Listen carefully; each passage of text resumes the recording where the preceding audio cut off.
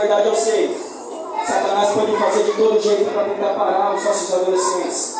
Para tentar jogar que, que os nossos adolescentes não são especial, que os nossos adolescentes têm que se afundar na depressão.